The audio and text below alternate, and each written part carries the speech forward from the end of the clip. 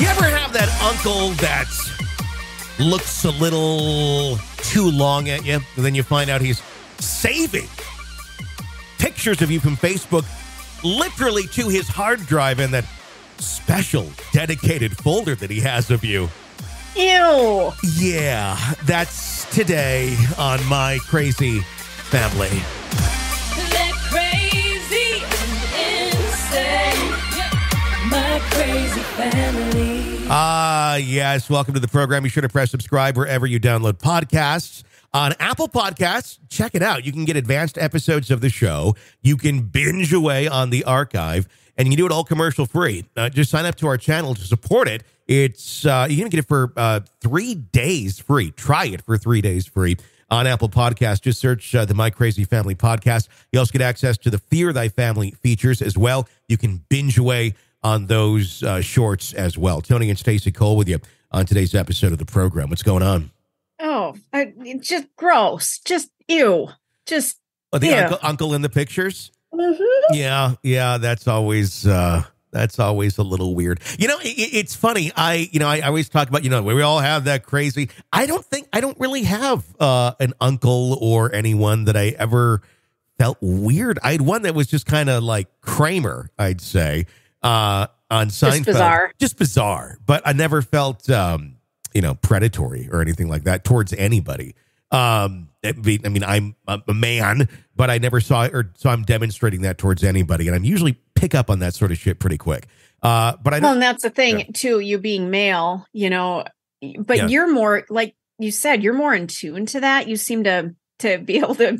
You've got creepy radar. You can just pick Wow. it out. I got creepdar. I do have creepdar. It's great. You do. It's great, and it makes you really sad at the same time because you walk around the world and walk around society, and you're like, oh, they're everywhere. Oh, they are. but Yeah. uh, yeah, that's uh, that's interesting. Uh, uh, something interesting for uh, we're talking about family and and crazy families. Um, here's here's something I I think some may classify as crazy that I'm doing, but I'm I'm doing this as a morbid experiment. Uh, Okay. Uh, in in leftover holiday food. Okay, so All right. got all the leftover stuff from the holidays, and I'm just sick of it. My daughter is sick of it. My Yeah. fiance is sick of it. We're all fucking sick of it. And by the way, I got engaged. Uh, so I'll just be, by the way, I'll using- congratulations, thank you. of course. so I'll be using that term. Uh, it's not just girlfriend anymore.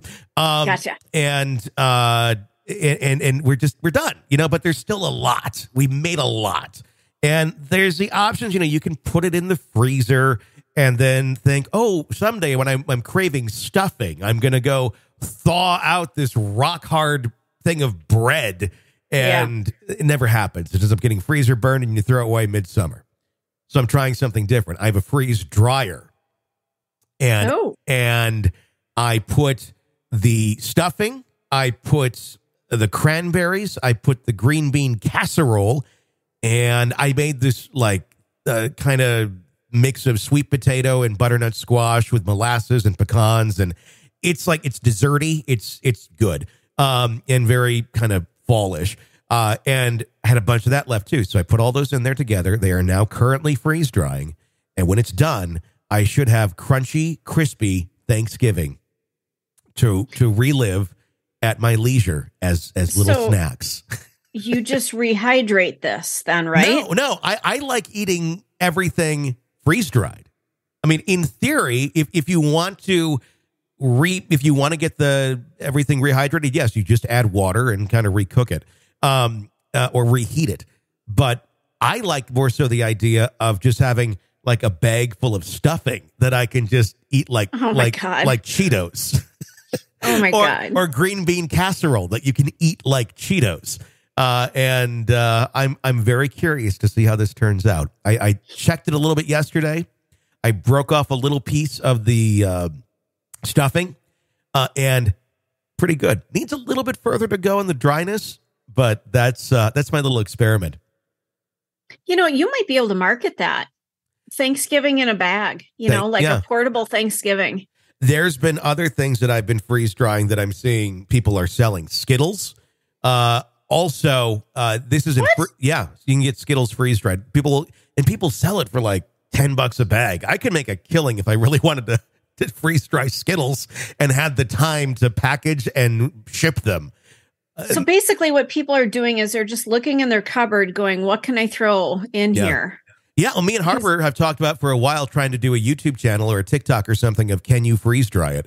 And basically, you go to like Taco Bell and get like a you know a crunch wrap or a Mexican pizza, freeze dry it, and see what it tastes like freeze dried. Oh my god! you know and and just kind of do some of that and i think we, we we talked about doing it last year maybe this year we'll actually execute it but i, I kind of this is my first one i'm doing that's uh straight up thanksgiving stuff uh, not just like freeze drying uh you know beans or stuff from my garden uh or Wow. yeah freeze dried cheese is actually pretty awesome too by the way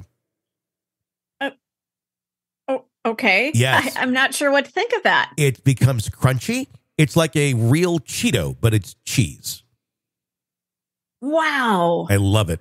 You can even buy that at the store now. Whole Foods sells uh, one of. I forget what the brand is, but you can buy freeze dried cheese. Moon cheese is what it's called. Uh, oh, I've heard of that. I guess. I didn't realize that's what it was. yeah, it's freeze dried cheese. I mean, you, you can pay. I mean, at the store they're like you know six seven bucks for a tiny bag. Uh, but I I just do like massive loads of freeze dried cheese, and then it's kind of grab a couple for a snack. Oh my goodness. Well, Never- then you know exactly what's in it because you know cheese. It's Yeah. Exactly. Yeah. So that's uh I like experimenting with my freeze dryer. People some people get it for like apocalypse. I'm like freeze drying Laffy Taffy.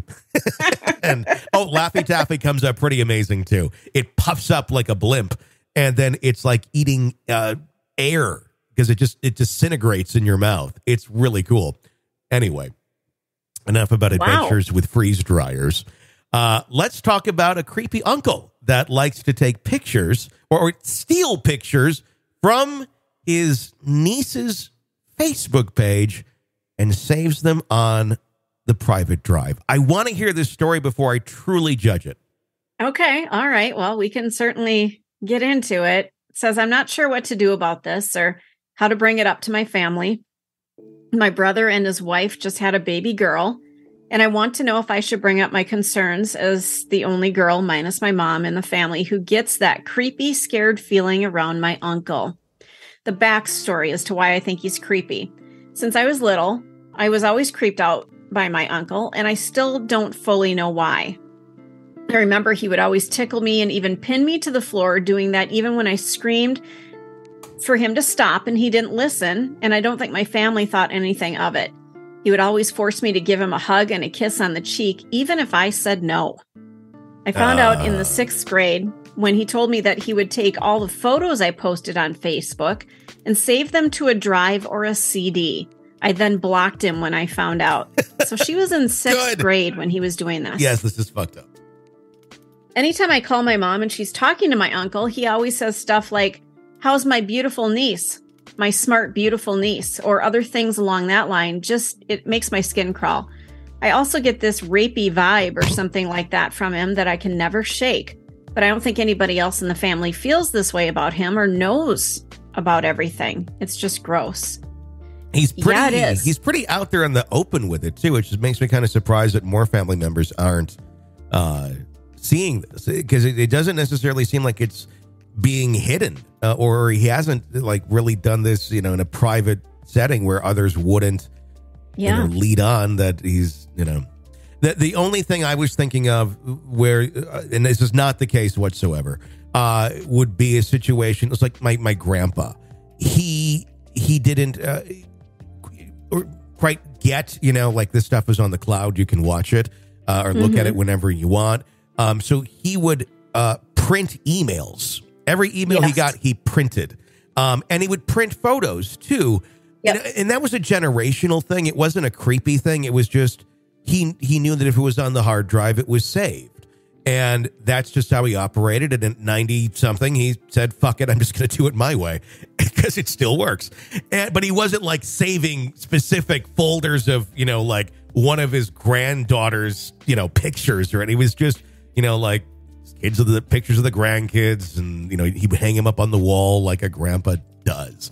Uh, nothing Right. creepy. But this, this is different. This is very, uh, he's putting him on a fucking CD. Why? Yeah, that's not good.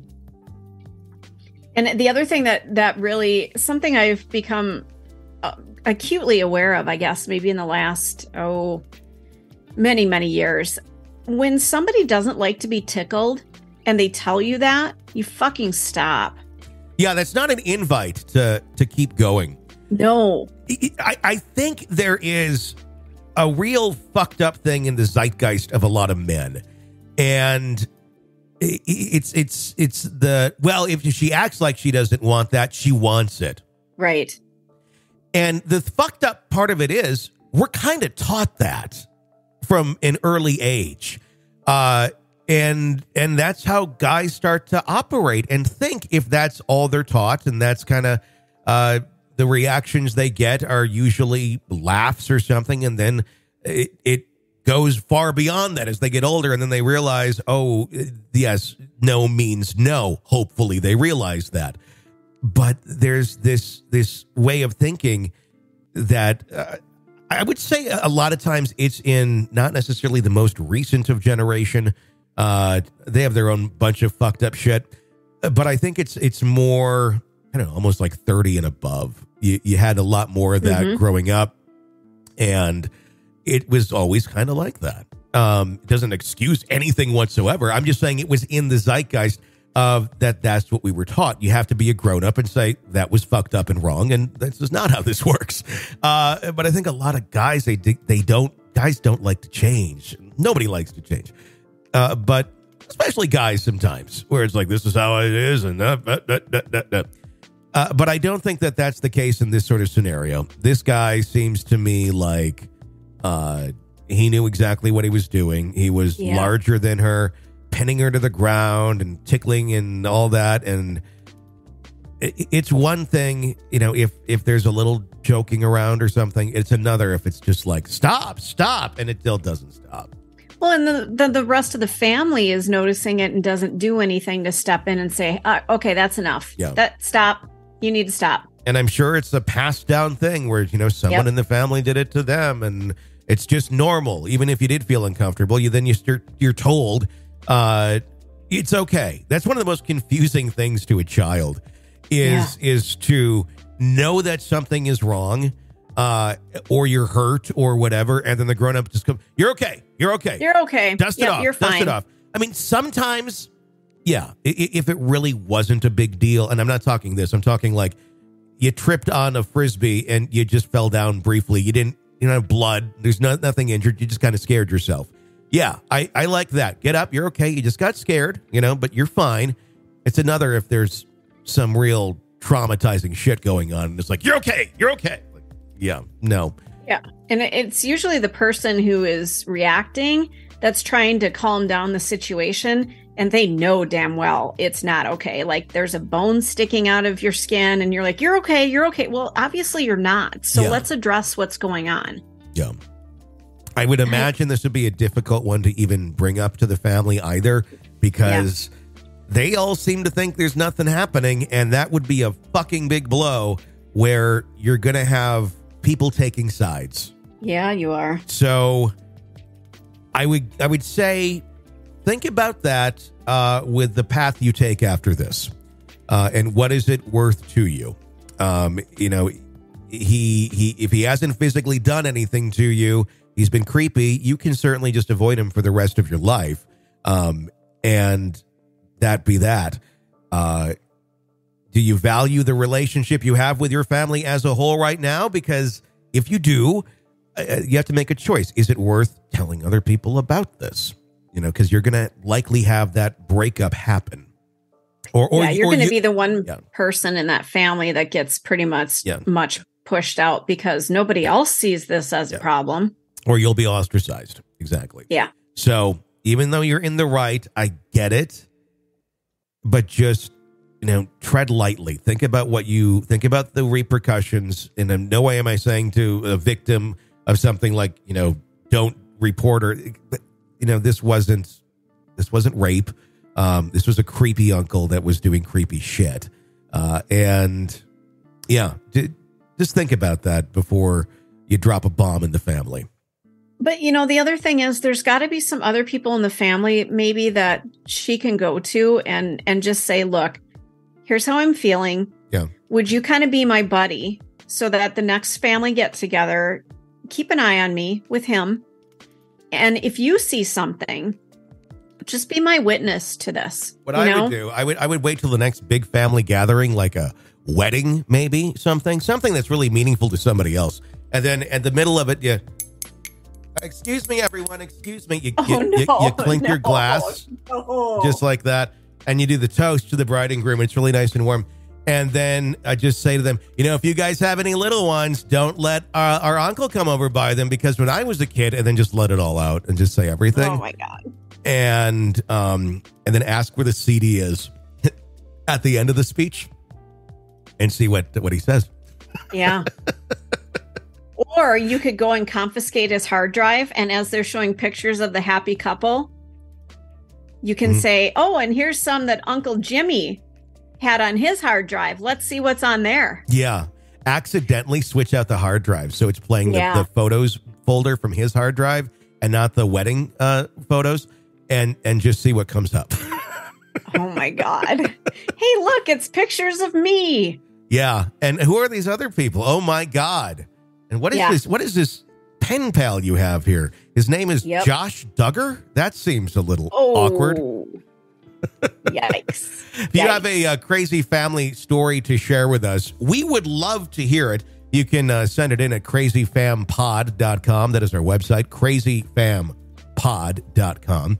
Uh, or call it in uh, 24 7 833 CRAYFAM 833 272 9326 to uh, share your crazy family stories with us. We'd love to hear them. What else we got? All right. Well, I'm trying to write this in a nutshell, but it's a bit difficult. I am a 29 year old female, and my husband is 29. We live across the street from my husband's mom. She's 57, and my husband's older brother, who's 32. We have lived here for nine years. I'm struggling with this dynamic at their household, as is my husband, but it's hitting me harder than him because of my own upbringing. My brother in law is taking advantage of my mother in law to the point where she is paying all of his bills. She buys him his necessities. She takes him out for meals. If he needs something, she'll get it for him. Might I add, he doesn't have any disabilities. He is perfectly capable of paying his own way. He does have anxiety and depression, but I feel it stemmed from his lifestyle. Not only does my mother in law pay for everything, she lets him run the house. He uses her vehicles, and when something isn't right for him, like she misplaces the keys, he gets mad, and then she comes running back in to find the keys. She is completely at his disposal. My husband and I have a one year old, and I'm finding that being a grandma isn't a priority for her, and it makes me sad. My anxiety stems from all of this, but to add a cherry on top, I'm very uncomfortable with his dating situation. He has a history of dating very young and naive girls.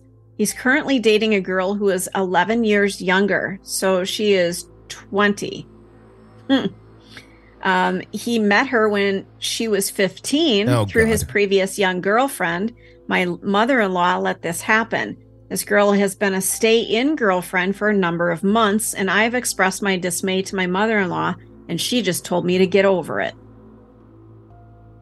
Um, There's a lot. Yeah. You've known her since you 15 is like, anytime you're an adult uh you know nearing 30 and you know someone when they're 15 uh, that- Yeah. that's not appropriate it's, it's one thing if you're like 18 and she's 15 and you know you're going to high school together or something and then you all get older and it's you know a little more on the same page uh Yeah. it's a total other thing when you're you know you know inching into your 30s and you're like oh yeah i knew when she was 15 that's yeah yeah the the time difference is so vast between a 15 year old and a 30 year old. oh my it's, god I, I the changes that your body goes through, the changes that your mind go through, there is no comparison. You are oh. completely different human beings in different phases of your life. which makes them easy prey for someone Yep. like this Yep. because they know that they it's not just that the girl really likes you it's she's young and dumb and Yep. you were two once everyone is and inexperienced and you kind of come through as this this older guy that's really into her and you know, shows her things that most guys her age, you know, can't or won't. And and oh my gosh, and he's not that much older, you know. I've seen people in their their 40s, date people in their 30s. Yeah, but you know what? You're both not in your 40s and 30s. Right, exactly. So yeah, that does. The older you get, the more it kind of becomes not such a big deal. Not when you're that young. Not when you're not when you're that young. Well, and Uh, when you're 15, she she can't even drive a car by herself. She can't um secure a hotel room. She can't vote. She can't drink. She can't make medical decisions for herself. I mean, come on. Yeah, yeah. But but he wants to make sweet sweet love to her. Oh Uh, yeah. Well, That's um. There's so much wrong going on here. I mean, the, the, the what starts out when we kind of learn the psychological profile of the person. Okay, anxiety and depression. Totally get it. I fucking Yep. have those too. But you know what? You don't define your life by it. You find No, you ways of uh, coping with it. You never quite can hit that delete button. It would be lovely, but you can't. So you find ways of living your life and getting stronger. And the more life you live, the more easy usually it kind of becomes because you you keep trying to find ways of, of finding that strength to deal with things. Uh, but a lot of a lot of people, um, it, it they become that becomes their identity and they live by it and they loathe in it. And uh, you know, there's there's some serious you know anxiety and depression. Yes, treatment is is usually needed. Um, I've gotten treatment myself, um, and that's where you, you stick with that sort of thing and you you do your damnedest to pull yourself up and you don't let that be your identity. A lot of people, though, I feel kind of let it become the identity because it's easier again being a victim and everybody loves the victims these days uh to get that sympathy and, and get all that. But you don't realize that yeah that attention may kind of feel temporarily good. It feels a hell of a lot better if if that's not even on your fucking resume anymore and and, Yeah. and you can just live your life uh that feels a hell of a lot better but a lot of people have never experienced that, so they think it's the best they can get. Uh, and it, it just becomes very sad and a, a real downward spiral where you have this sort of thing anxiety, depression. They're probably very insecure with themselves. It's probably why they prey on younger women. Uh, Yeah. Thank goodness this person is of age as of this point. Um, you know, there really isn't much you can say about it. She is of age. Um, and I don't really know. Uh, it, it honestly isn't your place to go in and say, you know, you shouldn't be dating this 20 year old. I think, you know, it's more so stand back and watch the Titanic sink. Uh, Yes. Because I don't know that there's a lot you're going to be able to do about any of this unless you want to jump on board and watch it sink with you and hope to God you get a fucking life raft as it goes down. Uh, but that's not a guarantee either.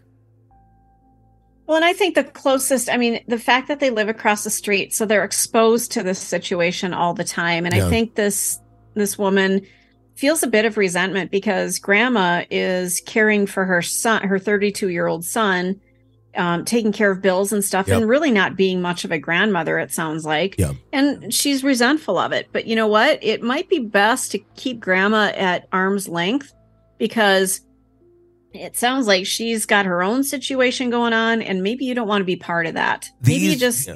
these are all do your own adults. thing. Everybody's an adult here. They're Yep. making their own decisions. You may certainly have better ideas on how this should be handled. But you know what? A lot of people can't contemplate better ideas, and they're only going to do their idea. That's how it usually works. They Yeah. need to come across and have this revelation themselves and say, "Uh, This is fucked up. You just saying, I'm on your side, this is an injustice, is going to backfire. Uh, and, and the mom's going to think you're judging her and, and her allowing this to happen for so long. The 32 year old uh, idiot brother is, is going to feel offended and certainly uh, play the victim there because he's played the victim most of his life. That's why he's living at home at 32. Mhm. And it's going to cause a rift. And then your husband's involved, and that is his family. And it's going to be awkward for everyone. So sometimes, uh, more times than not, as I've learned, just shutting the fuck up is usually the best route to to take here. You're not being harmed. There's no child in danger. Uh, if if this if you said that she was dating a 15 year old actively right now, yes, fucking say something. she's 20. It- It's, it's a live and learn situation, I think. Uh, and Yeah. you're, you're watching people make bad choices. Yes, you are. Um, you can't stop people from making bad choices most of the time. It, it doesn't appear to be an imminent, they're going to fall off a cliff. Um, let people do their things. It, it's hor- it's not right. It's not good. It's not healthy. Um, but I, I you're not going to be the savior here either. Quite honestly. No, you're really not. And I think you're going to get yourself all worked into a tizzy about something you can't fix or do anything about. And maybe it's your business, maybe it's not. It's hard to watch, Yeah, completely. But Unle- I think it's best Yeah, go ahead. I'm sorry. just leave it alone, you know? It's it's their rat's nest. Let them deal with it. Exactly. Just keep your distance unless you see something of, uh, like I said, if you saw someone being abused, meaning he's having a relationship with someone under the age of 18, um, yeah, speak up then. Uh, with the rest of this, yeah, it all looks horrible. Ugh. But um, would you like to keep your sanity or or dig deeper into the crazy hole over here uh, that might suck you in and spit you back out uh, with one less husband? That's a really good point. Yep. So, and and, your and you and your husband should discuss this, and you you two should be on the same page, and you should express these concerns to him if you haven't already, and just saying because of this, I, I don't want to cause a rift. I just don't really, I don't want to be that involved with them. Um, I'll you know I'll see him at the holidays. I'll be kind and cordial, but I I just don't want to. Um, they they really, they really bug me. And Yeah. hope, hopefully your husband's reasonable enough to respect that and understand that, and maybe hopefully he feels the same way. Um, but I don't know what that dynamic's like. So, uh, Crazy Fam Pod is the website to write in your crazy family story or call 833 Cray Fam 833 272 9326 833 272 9326 24 7 and share your story. What else we got? Well, it's mother-in-law day today. Yay. Um, mother-in-law has recently discovered the wonders of medical self-help websites, and she has diagnosed herself with several various ailments. Ah, Of course, they're always serious and or life-threatening. I wouldn't care so much, but she insists on telling everyone that she meets about her thrombosis, her hypoglycemia, or her mini strokes, etc. My husband and I were visiting her this past weekend when my cell phone rang. It was one of my mother-in-law's friends lecturing me about my mother-in-law's recently diagnosed diabetes. Okay, she told me how I should be more sympathetic to her and what I should be doing to help her. I looked across at my mother in law. She was, at this point, shoveling a large piece of cake with ice cream into her fat mouth. I decided to call my mother in law's bluff and asked her if she was diabetic. How come she was eating so much crap? Well, she told me that her diabetes was rare because what she ate did not affect her blood sugar. I was sorely tempted to pick up that whole cake and just shove it in her face. Thank you for letting me vent. Um, your your mother-in-law does not have diabetes. Um, I come from a family full of diabetics. I am on diabetic watch as we speak. Um, I know diabetes inside and out. I've, I had a cat that was diabetic. My dad, my brother, my aunt, my grandparents. I had a squirrel. Yeah, No, I didn't. right. Yeah. I, this woman is so full of shit. Um, But there is no rare diabetes. But I'm do you, sorry. But do you think she believes it? Do you think she's lying, or do you think she really read something somewhere on the internet, took it as fact, and said, "That sounds like me," and just self-diagnosed? No, I think what's happening is she knows it'll get her attention. hmm Therefore, if she puts it out there, everybody's going to feel bad for her. Everybody's going to pay attention to her.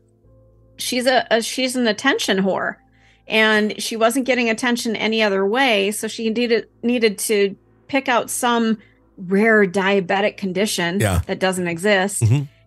And put it out there. A thrombosis, eh, you know, it, it sounds bad. Hypoglycemia just means your blood sugar is low. Yeah. I mean, these are all things that that people can be afflicted with that are not life threatening. But boy, if you don't know anything about medicine, they really sound awful. And and WebMDing everything is the last thing anyone should be doing. It, it's it's Exactly. it's like yeah. I, I once knew someone who um, would self-diagnose quite often and, and and go down these horrible rabbit holes. Um, and it was very difficult to pull them out of, uh, almost to the point of like eh, pretty much saying that they were a goner and they knew that their time was coming. And Yikes. and it was uh, awful. Um, and then eventually, and and, and then eventually, uh, after some time, they did get a diagnosis of what was going on with that person's mind, and that was the one they didn't accept. That's the one that eventually it's like it was it was looked at enough and to have, finally have someone say I don't think that that was the right diagnosis. It's like well if you dig enough you'll find that. But uh, and the thing is that definition was one fucking thousand percent on. I, I Wow. I did a lot of research on it. I read about it. I'm like, oh my god, this one hundred percent describes this the way this person acts. Uh, and I like holy shit. But then it- is one of those where you it's like you don't really want to have this diagnosis. Uh, and I think the unbearableness of the idea was too much to say, or, or it wouldn't be a pity thing anymore. If, if there, you went around and said this, you had this one, people wouldn't really feel pity. They'd be like, um, look at the time. if, if they knew, if they understood what it was. So I, I get it. It's kind of a self coping mechanism, but uh, I just found that amusing where, you know, you can self diagnose all day, but then you finally get one and you don't like it. It's like, nope, not true, not true. Yeah. You can't throw it back. I mean, it, No, it's, you it's know, there. It's there. You can't undiagnose yourself. God, It's uh it's a magical world out there. isn't it though? It uh no, it it uh, it truly is. So anyway, that was uh, an interesting story. Thank you for sharing that one uh with us. uh if you have a story, well you can always uh, call in uh 833 Cray Fam 833 Cray Fam to uh, share your uh, horrible family stories with us uh, or write in. Uh, you can do it all totally anonymously. Uh, crazyfampod.com. Crazyfampod.com is, in fact, the website to uh, send in your stuff to. We'd love to hear it. Uh, until next time. Ooh, this too. This too. One more thing. Apple Okay. Pod, Apple Podcasts. Go check that out. Try us for three days free. Get all the episodes commercial free, the advanced episodes, the archive, uh, Fear Thy Family. It's all there to binge away on. Check it out Apple Podcasts and try it for three days free. Until next time, for Stacy, I'm Tony. Thanks for listening to My Crazy Family.